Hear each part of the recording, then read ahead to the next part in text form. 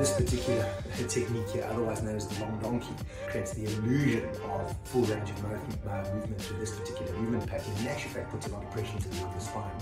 Um, and I'd like to put this in the category of uh, currently under correction, otherwise known as cuck. This particular movement pattern here represents more of a game called bobbing for than an actual functional uh, movement pattern. Um, also creating the illusion of, of range of motion.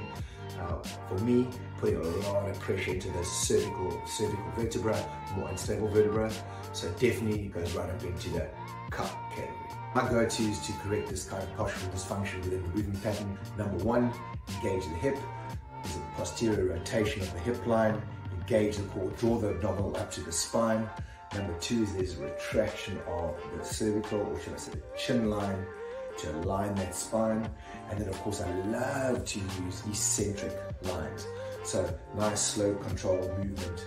Get right onto the ground and then drive up in a straight line with all those engagement patterns right the way through the full range of motion. Guys, for me personally, now this exercise is sharp. And always remember, we only have one life.